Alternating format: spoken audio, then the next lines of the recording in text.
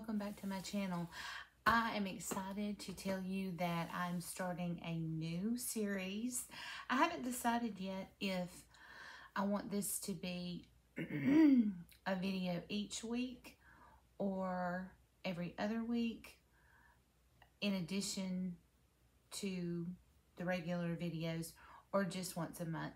It really just depends on how scheduling works out and how I can get everything fit into my day. But let me go on and tell you what it is. I'm going to call them Boom videos, B-O-O-M. Really what they're going to be it are dupe videos. Like in the past when I've had a Kirkland's dupe, I was um, on my phone looking through Kirkland's and Pottery Barn, kept finding the, these items that they were charging outrageous prices for that I knew we could make. Um, or at least that I could make and show you how to do it and save you a little bit of money.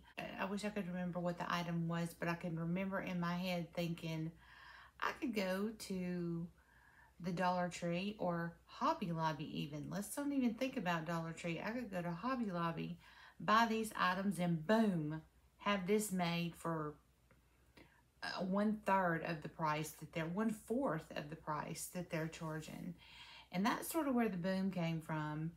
And the idea just grew from there. So I'm pretty excited about it. And I've got the first one today. Let's go ahead and get started. But first, if you have not subscribed to my channel, please go down and hit that subscribe button. I would really appreciate it.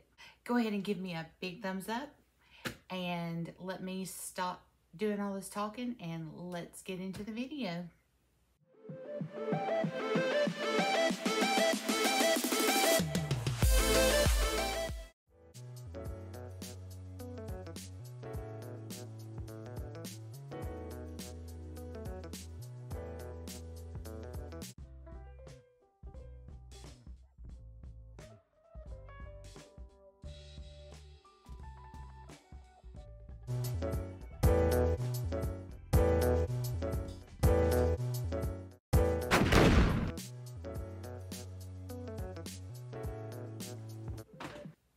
And what about the price difference? $25.